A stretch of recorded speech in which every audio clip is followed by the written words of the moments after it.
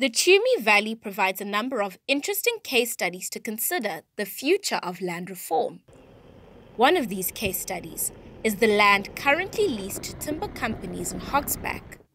Here, the timber industry provides opportunities for small sawmilling companies.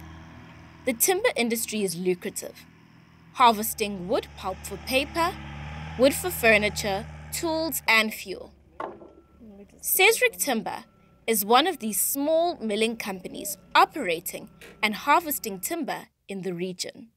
So um, what we do in our company, we basically have our own harvesting operations where we have teams that go into the, to the forest, harvest the trees from a standing uh, point, pack it onto depot, move that timber with our trucks down to the firm, and from that point it will come into the machines here where we um, process that into a timber product that can be used by the people. When we started four years ago, we initially employed, I'm not 100% sure, but I think it was about 15 people from the community. Um, today, four years later, we got staff of 52. Although the timber industry has many benefits, this is done at the cost of indigenous forests. The pine trees are spreading into and destroying grasslands. Indigenous trees are removed randomly by cutting and using poison without planting more. Ibi-chainsaw ibe besisebenza nala chef kuthiwa yi-roundup nala nto kuthiwa yi-veloxid into njalo ne? Eh so abanye ke bebelethela ke.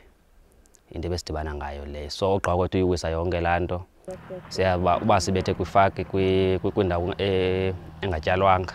Sizusa zonke zanto sigqiba ke ngoku isizini otshisa ke ngoku siphinde amaziko ke ngoku kube kukho ke ngoku aba bavula ke apha ecaleni.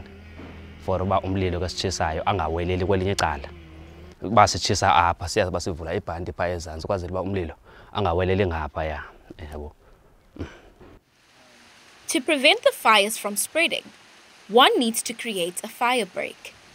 It is a cleared barrier next to a plantation to prevent a wildfire, created by burning grass and clearing vegetation and topsoil.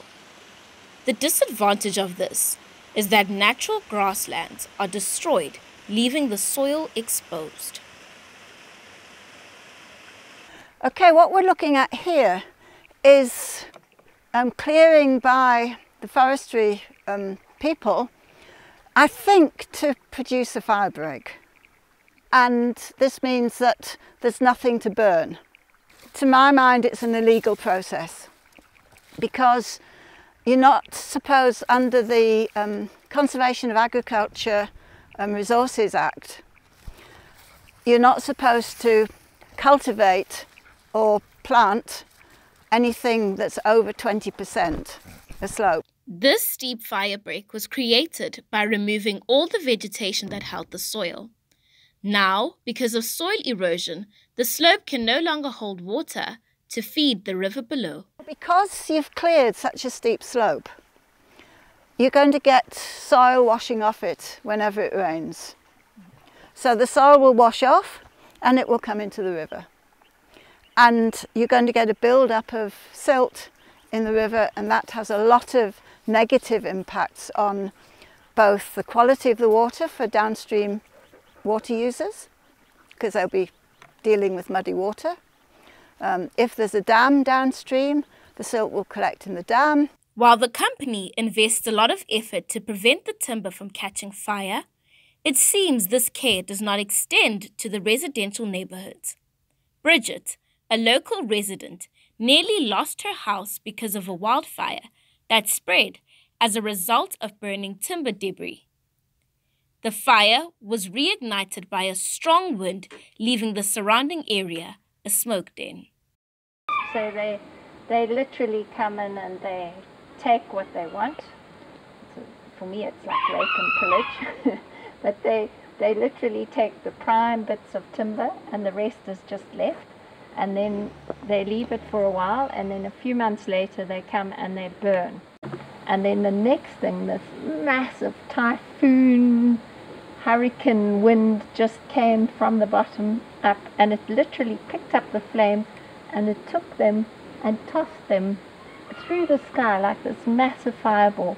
I don't know, the gods were looking after us that day, but the smoke um, and it was this heavy ash that the whole place was just covered with this thick, thick ash. I mean, even inside the house with the windows closed and everything, it was, you couldn't see yourself from one side of the room to the other. It was so thick. It was very frightening.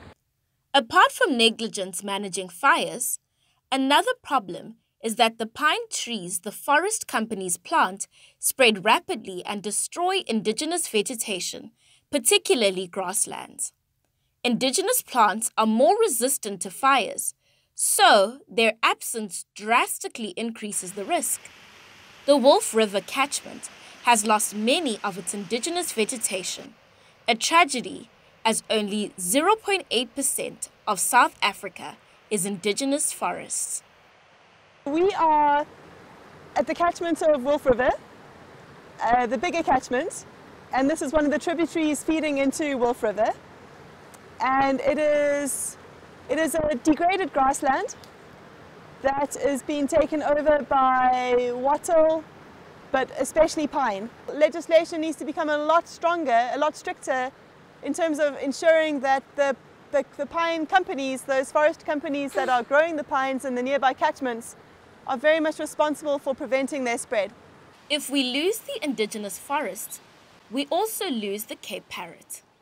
The Amatole Mountains is home to this bird because it relies on the fruit from the yellowwood tree that is also found in this forest.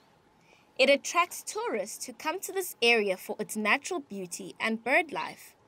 Because the yellowwood tree is being replaced by exotic pine forests, these parrots are at threat of becoming extinct. In the town of Hogsback, there are no low income housing areas as the forestry industry has blocked this as they say the risk of fire is too great. Despite the economic benefits of the timber industry, it also has many problems. Is this not the time to reconsider what government should do with this land? and explore other ways that the people can benefit from the land. Mm-hmm.